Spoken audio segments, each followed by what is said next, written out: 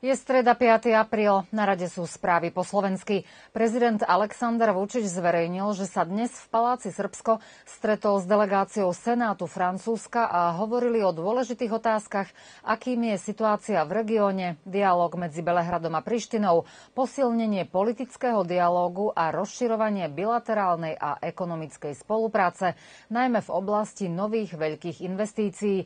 Ako Vučič povedal, úloha Francúzska je v našom regióne významná významná, a to nie len z hľadiska tradičného a historického kontextu, ale aj v súvislosti s úsilím dať západnému Balkánu nový impuls na ceste k európskej integrácii. Predsednička vlády Anna Brnabičová dnes so špeciálnym predstaviteľom vlády Nemecka pre Západný Balkán s Manuelom Zaracinom v rozhovore o aktuálnej situácii na Kosova a Metochy zdôraznila odhodlanie Belehradu zachovať miera stabilitu a podčiarkla, že očakáva konštruktívnu podporu, ktorá umožní trvalú stabilitu v regióne pri implementácii existujúcich dohôd, pričom prioritou je vytvorenie spoločnosti srbských obcí. Zaracin skonštatoval, že existujú budúci dialog medzi Belehradom a Prištinou tvorí dobrý základ pre ďalšie diskusie a pokrok a že nedávny ústretový krok je dôležitým prvkom na ceste do Európskej únie. Premiérka spomenula aj to, že Srbsko má záujem o posilnenie synergie s Nemeckom a okrem pokračovania v oblasti investičnej spolupráce, najmä vo vysokotechnologickom sektore, existujú veľké príležitosti na prehlbenie vzťahov v oblasti energetiky, automobilového priemyslu a vedia vzdelávania. Ministerka baníctva a energetiky Dúbravka Dedovičová sa dnes zúčastnila na púšťaní do prevádzky najväčšej solárnej elektrárne v Srbsku Dela Sol v obci Lapovo. Elektráren s výkonom 9,9 MW vybudovala spoločnosť MT Comex na rozlohe 12,5 hektára. Na výstavbu boli použité tzv. bifaciálne panely, ktoré majú schopnosť produkovať elektrinu z oboch strán panelu, preto vyrábajú väčšie množstvo elektriny. Dedovičová vyzdvihla, že vďaka novej elektrárni nie len, že sa zlepší bezpečnosť dodávok elektriny, ale chráni sa aj životné prostredie. Ďalej povedala, že úlohou štátu, na ktorej sa intenzívne pracuje ako príjmaním nariadení, tak aj prípravou strategických dokumentov, je vytvárať podmienky na výstavbu nových elektrární z obnoviteľných zdrojov energie. Oficiálne 1. apríla, avšak to bola sobota, teda od pondelka 3. apríla, začal zápis a testovanie budúcich prvákov do základných škôl. Do prvého ročníka môže byť zapísané každé dieťa, ktoré do 1. septembra bude mať najmenej 6,5 roka a najviac 7,5 roka. Mnohí rodičia pociťujú stres kvôli testovaniu dieťaťa a nástupu do školy. Pre dieťa je to veľká zmena a zmení sa aj rodinná dynamika, ale pedagógovia aj psychológovia Psychológovia tvrdia, že ide o úplne normálnu situáciu, kde nie je dôvod na stres. V septembri 2022 bolo do základných škôl v Staropazovskej obci zapísaných spolu 644 prvákov, z nich 33 sa zapísalo do základnej školy hrdinu Janka Čmelíka. Termín zápisu a testovania si môže rodič objednať elektronicky cez portál e-úprava, telefonicky alebo osobne priamo v škole. Zápis trvá do konca mája a z dokumentov bude potrebné len potvrdenie od pediatra, že dieťa je spôsobilé školskej dochádzky. Pravidelne dvakrát ročne sa v priestoroch starej evanielickej fary v Starej Pazove koná Second Hand Bazar, ktorý organizujú členky oltárneho krúžku žien Tabita. Ako pre RTV Stará Pazova povedala koordinátorka bazára Anna Malková, tohto roku sa jarný bazár bude konať od 17. do 21. apríla od 14. do 19. hodiny. Avšak už odteraz je otvorená zbierka vecí.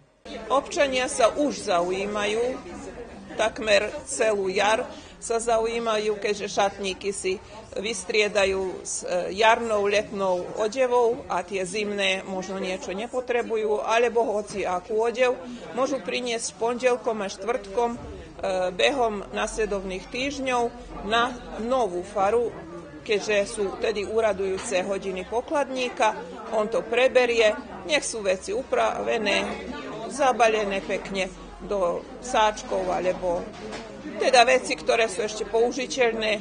Môžu to byť odev, obu, pánska, dámska, detská, e, môžu to byť záclony, postelné prádlo, obrúsky, hoci čo, čo už nepotrebujete, takmer všetko okrem nábytku, nábytok neberieme. Pred nami sú sviatky Veľkej noci a tí, ktorí chcú tieto výnimočné dni stráviť aj duchovne na službách Božích, ponúkame harmonogram služieb v Evangelickom kostole v Starej Pazove. Na Zelený štvrtok budú služby Božie o 18.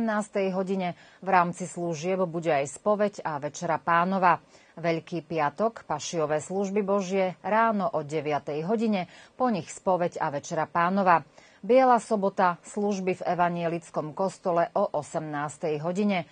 V nedeľu na prvú slávnosť veľkonočnú, vzkriesenie pána, budú služby klasicky o 10. a na veľkonočný pondelok služby rovnako o 10. do obeda. Ešte kultúrna pozvánka. V galérii Miry Brdkovej do 26. apríla je otvorená výstava Viktorie Janičovej, ktorá tu vystavuje 17 obrazov papierového filigránstva. 8. apríla v sobotu v divadle v Starej Pazove na malej scéne bude odohrané predstavenie Kováči v réžii Alexandra Baka. Vstupné je 300 dinárov. V pondelok premieta kino a v útorok sa na staropazovských divadelných doskách predstaví Nenad Jezdič s monodrámou Kniha o Milutinovi. Vstupné je 1000 dinárov. O ďalšom programe sa môžete informovať na stránke Strediska kultúry czk.starapazova.com. Elektrodistribúcia oznamuje, že zajtra 6. apríla od 9. do 12. hodiny bez elektrickej energie ostanú užívateľia v Novej Pazove v ulici Janka Čmelíka. Rovnako zajtra od 12.30 do 13.30 v Novej Pazove bez elektriny bude ulica Branka Čopiča a Partizánska nepárna strana. 22 zápasov a z toho 20 víťazstiev, to je sumár volejbalistiek jednoty Stará Pazova, ktoré sa dostali do play-offa Superligy Srbska. V rámci štvrťfinále zvíťazili nad klubom Srem Sriemskej Mitrovici a to maximálnym skóre 3-0, čím si zabezpečili postup do polofinále, kde sa stretnú s Červenou hviezdou z Belehradu. Zápas je na programe zajtra o 19. hodine v Starej Pazove v hale jednoty a všetci fanúšikovia sú pozvaní, aby prišli podporiť naše hviezdy na ceste do finále.